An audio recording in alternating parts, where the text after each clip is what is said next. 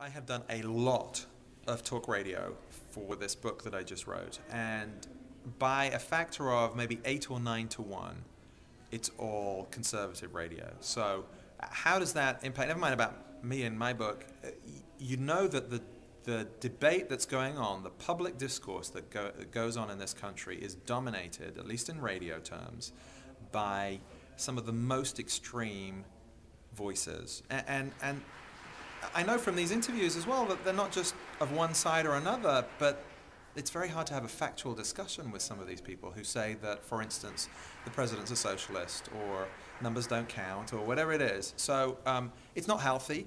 Um, it distorts the politics and um, there clearly needs to be more balance. Will there ever be the same kind of balance? I don't think so.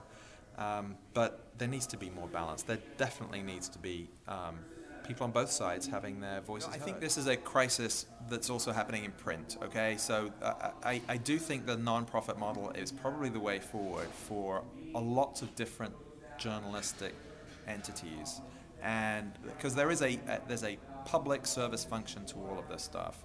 And uh, we're, unus- we're uncomfortable saying public service should be on one side of the partisan divide or other, but radio, representative radio, balanced radio, is has got to be in the mix.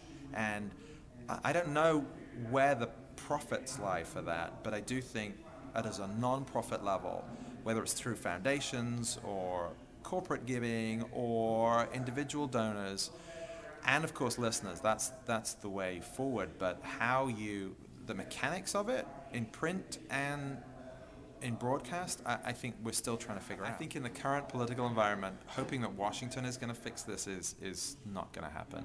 This has to come from the grassroots.